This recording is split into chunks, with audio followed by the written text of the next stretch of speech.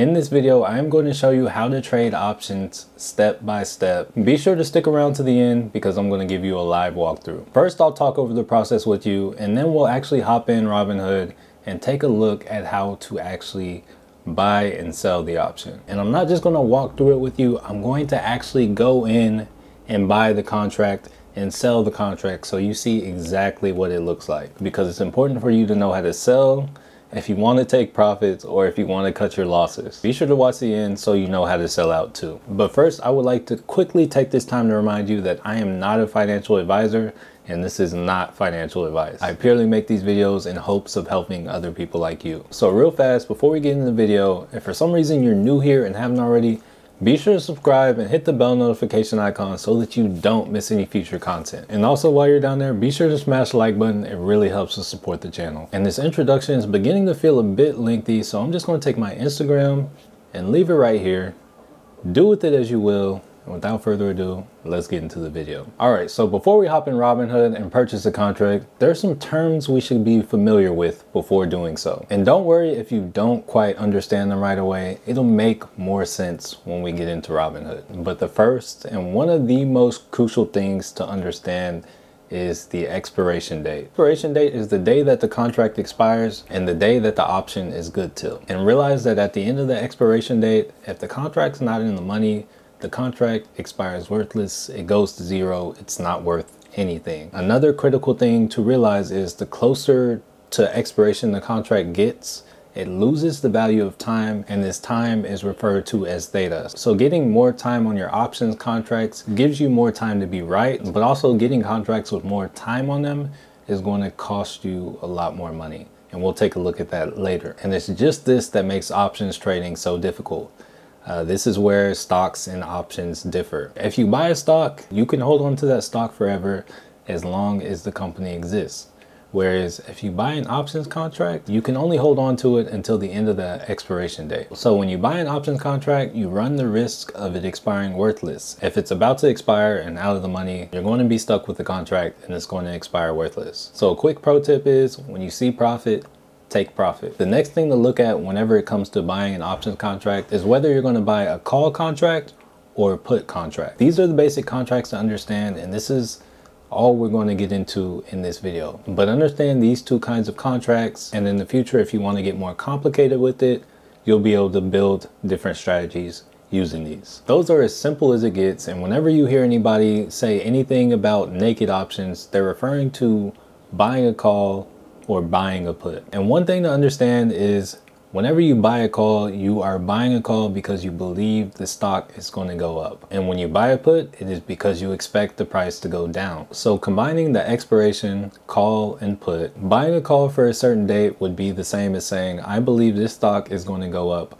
by this date. Or buying a put for a certain expiration date would be the same as saying, I believe this stock is going to go down by this expiration date. And the next thing that's important to look at when it comes to buying an options contract is going to be what is referred to as the strike price. So going in there with whether it's a call or a put and the expiration date, you're going to need to pick a strike price. The strike price is basically the price in which you're betting on. So for instance, say you had a call with a $40 strike price. A call for a $40 strike price would be saying, I believe this stock is going above $40 by this day. And basically, once the stock has gone above $40, the contract is considered to be in the money because it passed that $40 threshold. And when it comes to being in the money, when you're buying options, being in the money is a good thing. And going back to the strike price and the stock being at $40, any strike price below $40 when the stock is at $40 is considered to be in the money and anything above is considered to be out of the money.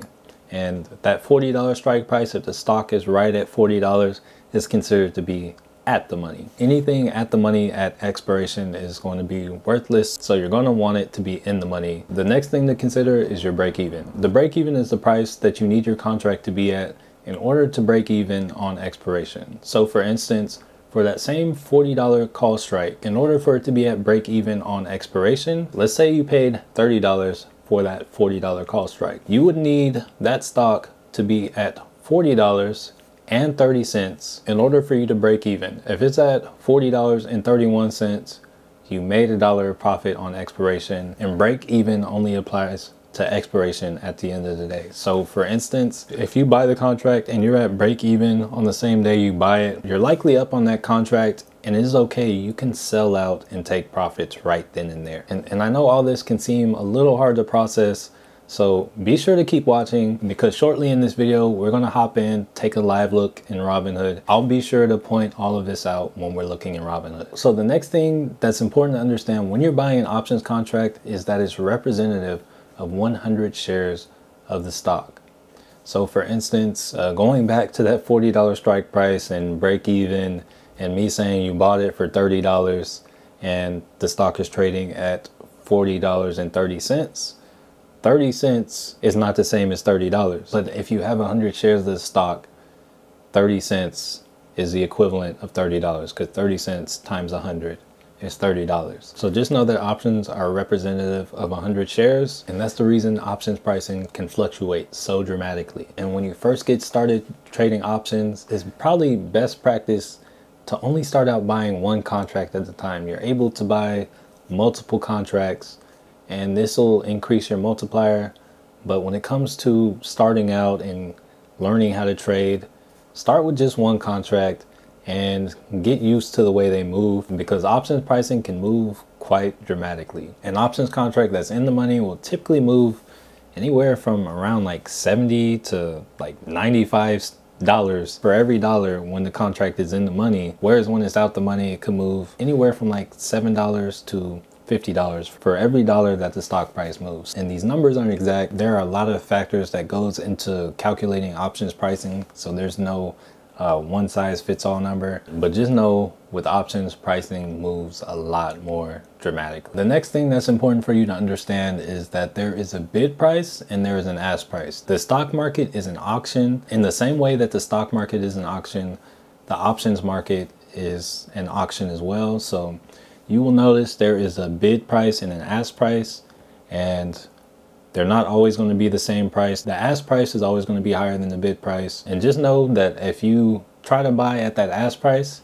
you're going to get your order filled right away. Whereas if you put in at the bid price, you may or may not get your order filled depending on uh, when the stock moves up or down. Another pro tip right here, if you want your orders filled right away, put them in at the ask price. If you think the value of the contract is going to come down to a better price, uh, put in a limit price for where you think it'll come down to and when it gets filled you'll get filled at that better price and then it can go back up. So you may have just heard me mention the limit price. The limit price is going to be the price you set in to buy the option. This is going to be the highest price the option gets filled for. One thing to know about the limit price, if you put the limit price over what the ask price is, your order is going to get filled for the number in the middle. So for instance, if the ask price is at $25, and I don't know why you do this, but if you put in your limit order at $50, it'll get filled for uh, what's in between uh, let's let's say about $35 whatever's in the middle the next thing that you're going to want to be aware of is the open interest this tells you how many of those contracts are open how many people were holding that contract uh, at the start of the day. This tells you how many people are interested in trading that contract. And typically the higher the open interest, the easier it's going to be for you to get in and out of the contract. So for instance, if you buy a contract and the open interest is like seven, just know there are hundreds of thousands of people trading options and trading in general. And if you only see seven people an open interest of seven, you're probably going to have a hard time getting out of that contract and you're probably going to get stuck with it until expiration. Make sure there's that open interest there. Make sure you're not stuck holding the bag. And now for the last term before we hop into Robinhood and take a look at what we're going to buy, it's going to be the summary. The summary is basically what it sounds like. It is a summary. It's the summary of what you're doing when you're about to purchase an options contract or sell an options contract. It's always a good idea to read the summary before you go through with the options contract. And now that we've gone over all that, let's hop into the handy dandy Robinhood and buy an options contract. So real quick, before we hop in Robinhood and take a look, I wanna make sure everyone can trade options. So if you already have the ability to trade options on your account, skip ahead to this time.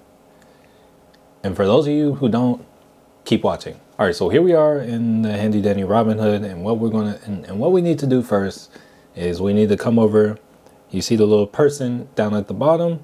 We'll click over to investing, scroll down, and I believe it should be under stock lending if you scroll down. For me, it says option setting, but for you, it may say apply for options. And I just want to let you know, yeah, this is where you'll go to control all that. So option settings, uh, me, I am trading on level two. And the reason I'm trading on level two, uh, if you want to trade spreads and stuff like that, which is not anything we're going to go in this video, yeah, you couldn't go for higher levels, but level two is all you need to go over the stuff we're doing in this video. And another issue you may run into, if you chose to trade with a cash account like me, you're not going to be able to trade any higher level than level two. If you have a margin account, you can trade higher level, which enables buying and selling spreads. But for me, whenever you have an account under $25,000, you're not going to be able to make more than three day trades in a week. So because of that, I use a cash account. And just know that whenever you apply for options, it's going to ask you questions about your risk tolerance and just know if your risk tolerance is low, you are not going to be approved to trade options. And now that everyone's all caught up, uh, let's take a look at how to buy an option. All right, so here we are in the handy dandy Robinhood in order for you to choose an option to trade on, you got to first go to the company that you want to trade it on. So I'm going to start out by going to PLTR. Uh, the company is Palantir. I'm going to click on it and here we are looking at the company. We should now all have the ability to click trade and trade options. We're currently in pre-market. Options don't trade during pre-market or post-market and the market opens in less than a minute. So now the market's open, let's hop in and make a trade. All right, so we're gonna hit trade, trade options. The first thing you see when you click in, down here are some suggested strategies from Robinhood. It's probably a good idea to stay away from those. Personally found those to not be the best. So now the first thing that we're gonna do when it comes to us getting to an options contract is we're gonna pick an expiration date. And today's the 7th uh, just just for reference today's the 7th so we're going to click on right here on December 8th and these contracts are expiring tomorrow. All right so I want you to take a look at this $17 call currently trading at 50 cents per share. Uh, 49 cents per share you'll see it's moving. And then I want to hop over a week out to December 15th and look that same $17 call is trading at 76 percent and if we go out even further, $17 call is $6.70 per share. All right, so that right there is just showing the value of added time to each contract. I'm now going to back out back to December 8th. And now let's take a look for more terminology that we went over. All right, so here on the top left, you can see there's a buy and there's sell. So if you had a contract to sell, you could come over here to sell and be selling a contract. But we don't have anything to sell right now, so we're gonna hit buy. And then right now we're currently on call, but if you wanted to go to put, you would just click on put up here. And, and now we're on put. And you can see that the $17 put is worth a lot less than the $17 call. And that is because this put is actually out of the money whereas the $17 call was in the money. Taking a look at it, you can see the share price is currently in the middle of the screen. It says 1731. When it comes to a put, everything on this upside is going to be in the money and you can see all these strike prices to the left is as you go up, they're worth more. As you go down and come to the ones that are out of the money, they are worth less. And the ones that have probably no likelihood of actually occurring are worth one cent per share, which honestly, if you see that, you're probably not going to be able to get out of the contract, which pretty much means they're worthless because they expire tomorrow. All right, coming back to that call, you can see again, uh, opposite of the puts, the ones down beneath the share price are going to be in the money for calls. And as we scroll down, you can see all these strike prices get more expensive.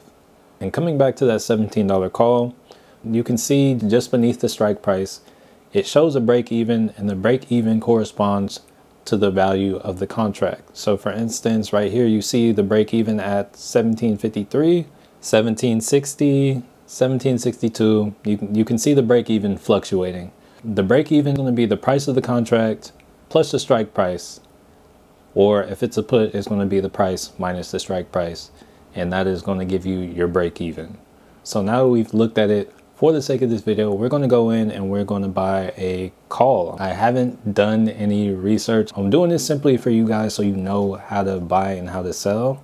Uh, I'm going to buy this 17.5 call and we're going to take a deeper look at some of the terminology we went over. So I'm going to click on this contract and then it's going to bring me here. So coming here, you can see on the screen that the current bid price at the top left is 23 cents per share and the ask is now 24 cents per share. It's the value of this is actually going down.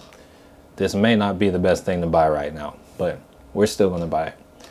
Uh, some other things you can see. The high for the day for this contract was $30 and the low has been $20 today. Some other little fun things that will strengthen your options trading ability that we're not going to fully go over in this video are the Greeks down here. You can see the delta, gamma, theta, the vega, as well as rho. The ones that are most important to me are going to be theta, the delta, and the gamma. We talked about theta and how that wears value off your contracts. We're not going to go too deep into that today. Just know those are there. And, and now that we've kind of gone over everything, we're going to hit buy. We're, we're just going to get one, and I am doing this purely for you guys. So make sure to smash the like button because I am putting my own money on the line. I'm going to buy one contract. You can see right here where it says limit price, there's a bid, there's an ask. They kind of have the limit price grayed out. And that's the price of the stock moves, that'll move too. But if you have a specific price you want, you can actually click on that and type it in. Now coming to look at it, you can look down here where it says max cost. It shows it's 23 cents, but really it's 100 shares. So it total comes out to $23 and then there's like a three cent fee per contract. Uh, it's really not much in the grand scheme of things. And then after you do that, you would hit review. Right here, down here, this is the order summary I was talking about. It says you're paying $23 for the right to buy 100 shares of PLTR for 17.50 per share by December 8th. PLTR shares aren't 17.50 or higher on December 8th this option will expire worthless. Note, this does not include regulatory fees. So now if I want to go through with this, what I'm going to do is I'm going to swipe up. And as we sit here, you'll notice uh, it shows the number of contracts purchased is zero. And that's actually because I put in a limit order. The current bid is 24 and the ask is 25. So unless the ask comes down to 23, this order is not going to get filled. You see the bid is now 23. The ask is 25. It's 26. The price of the stock is moving. So uh, we haven't been filled, but if I wanted to leave the screen, I would just hit done. And then we can come back and you see where it says upcoming activity, you can see the order has been placed. And if I wanted to cancel this and I really wanted to get in this trade, I could click on this place order. I can either cancel the order and I will cancel the order, but I want to make sure I'm able to show you guys how to sell out. So I'm actually going to hit replace order and I'm going to raise my limit price a little bit. I'm gonna hit replace order. About to have to spend all this extra money on this contract. Go back, make sure I do one contract and I'm going to do 0.27. I'm going to hit review. I'm doing this for you. Make sure to smash the like button and uh, yeah, I'm gonna hit review. All right, we're gonna swipe up. And as you can see, I got one contract filled. That was all I ordered, and I got filled for $26 instead of $27 because the price must have come down while I was uh, putting that order in. So now I'm gonna click done, and now let's go to the Palantir screen. All right, so here we are looking at Palantir. And this is how you're able to check up on your contract. So looking in right here, you can see the one call I bought is currently sitting at $26, no profit, no loss. And if we click on it, this is just the contract, specifically the contract. Currently trading at $26, right at the price, minus three cents for the regulatory fees. And actually I am now down $2 on it. I'm gonna try to wait around a little bit and see if I can at least make a dollar on this. But looking at things, you can see I have one contract. The current price is $24. The average cost is $26. The market value is $24. Today is the 7th and it expires tomorrow. So just know this probably isn't the best contract to mess with when you first start playing around with options. You probably want to get more time on them because the theta or the time decay really kicks in towards expiration and this expires tomorrow. All right, as you can see, I am down $4 on this contract and I'm doing this purely for you. It looks like I lost $5 to make this video for you. Please make sure you're showing love down there. So now I want to close this. I'm going to hit trade. I'm going to hit sell. I'm going to hit one and I am going to, if you have a price that you're hoping to sell it for, you can actually come in, put in that limit price and I'm actually I'm still going to try to make money off this. I'm hoping I'll make money off this. I'm going to come in, I'm to put 27. And you can see right here it says low fill likelihood. And it is possible that I don't get filled on this at all because it's not trading at that price. And if the price of the stock continues going down, I'm not going to get out of this. So actually, it's probably better for me for the sake of the fact that I'm about to get to editing this video for me to just sell it at the price it's being asked for or at the bid price. Whenever you're selling a contract, it's going to go through fastest at the bid price. And whenever you're buying, it's going to go through fastest at the ask price. Actually, I'm going to come back, look at the chart, and I'm going to show you when I decide to sell out. I might give this a few minutes because, you know, the market does not go up or down in a straight line. So stay tuned. All right, so I tried to wait a little bit. It came a little bit higher I'm going to try to sell right now. So I'm going to hit trade. I'm going to hit sell. Then one. Let's try 24. And now we're going to swipe up. And we got filled. We actually got filled for 25 and it, it takes three cents whenever you sell as well. So right here you can see the current bid and ask is 24 and 25. I lost a dollar in a trade. It's not as bad as losing four, but yeah, we lost. Uh, limit, limit price was 24. The bid and ask is currently 23, 24. You can see I have no contracts and going back, if we go to look at my portfolio, you can see I'm down a dollar eight cents on the day and going to Palantir, you can actually see the history that I bought for $26 and sold for $25 today. One last very important thing before we close out this video that I want you to know is what we did today was a day trade and if you have a margin account you only get three day trades in a five day trading period if you have under $25,000 in your account. So I use a cash account to get around this. If you have any questions, comments, anything like that, be sure to leave those down below in the comments. If you enjoyed the video or learned anything, be sure to smash the like button. If for some reason you made this far and haven't already, be sure to subscribe and hit the bell notification icon so that you don't miss any future content. And last but certainly not least, thank you so much for watching. Matthew Manuel signing off and I want to change your life.